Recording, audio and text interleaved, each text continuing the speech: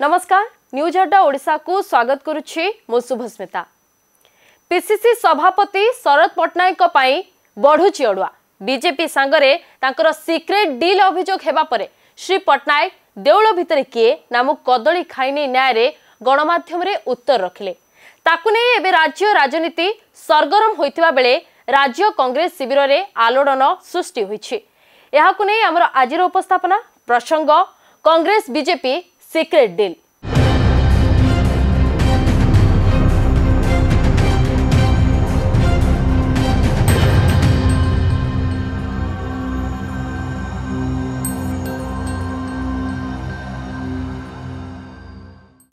ଗତ କିଛି ମାସ ହେଲା ରାଜ୍ୟ କଂଗ୍ରେସ ବିଜେପି ଏଜେଣ୍ଡାରେ କାମ କରି ଆସୁଥିବା ଅଭିଯୋଗ ହେଉଥିଲା। ହେଲେ ଦଳର ନିଲମ୍ବିତ ସାଧାରଣ ସମ୍ପାଦକ ନାରାୟଣ ଜେନାଙ୍କ ବିସ୍ଫୋରକ ବୟାନ ପରେ ଏଭଳି ଅଭିଯୋଗ ଅମୂଳକ ନୁହେଁ ବୋଲି ଚର୍ଚ୍ଚା ହେଲାଣି।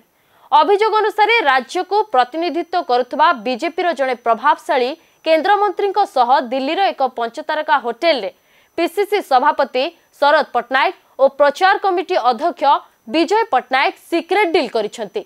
ରାଜ୍ୟର ପାଞ୍ଚଟି ଜିଲ୍ଲା ଯେଉଁଠି କଂଗ୍ରେସର ସଂଗଠନ ସୁଦୃଢ଼ ସେହି ଜିଲ୍ଲାଗୁଡ଼ିକରେ ବିଜେପିକୁ ଦୁଇ ହଜାର ଚବିଶରେ ଜିତାଇବା ପାଇଁ ଏମାନେ ଡିଲ୍ କରିଥିବା ଦଳର ନିଲମ୍ବିତ ସାଧାରଣ ସମ୍ପାଦକ ଶ୍ରୀ ଜେନା ଦୃଢ଼ତାର ସହିତ କହିଛନ୍ତି ଖାଲି ସେତିକି ନୁହେଁ ଆବଶ୍ୟକ ସ୍ଥଳେ ସେ ଏହାର ପ୍ରମାଣ ଦେବାକୁ ମଧ୍ୟ ପ୍ରସ୍ତୁତ ବୋଲି କହିଛନ୍ତି।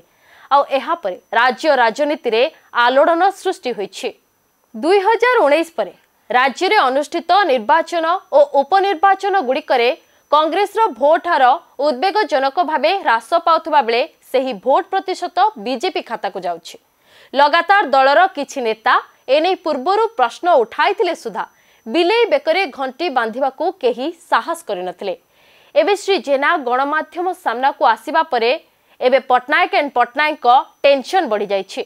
ସେପଟେ ଶହ ଶହ ସମର୍ଥକଙ୍କ ସହ ଦିଲ୍ଲୀ ଯାଇ ହାଇକମାଣ୍ଡଙ୍କ ନିକଟରେ ସମସ୍ତ ଅଭିଯୋଗ କରାଯିବା ସହିତ ଦୁଇ ପଟ୍ଟନାୟକ ହଟାଅ କଂଗ୍ରେସ ବଞ୍ଚାଅ ବୋଲି ସେ କହିଛନ୍ତି। ଜାତୀୟ ସ୍ତରରେ ବିଜେପି ଓ କଂଗ୍ରେସ ମଧ୍ୟରେ ପାରମ୍ପରିକ ଶତ୍ରୁତା ରହିଥିବା ବେଳେ ତାହା ବେଳକୁ ବେଳ ଉଗ୍ର ହେଉଛି। ଏପଟେ ରାଜ୍ୟରେ କିନ୍ତୁ ବିଜେପି କଂଗ୍ରେସର ସମ୍ପର୍କ ଶାଶୁ ବୋହୁର ଠସର କଳି ରାତିରେ ଖାଆନ୍ତି ସରୁ ଚକୁଳି ବୋଲି ସାଧାରଣ ଲୋକେ କହିବା ଆରମ୍ଭ କଲେଣି। କାର୍ଯ୍ୟକ୍ରମକୁ ଏଇଠି ରଖୁଛୁ। ନମସ୍କାର।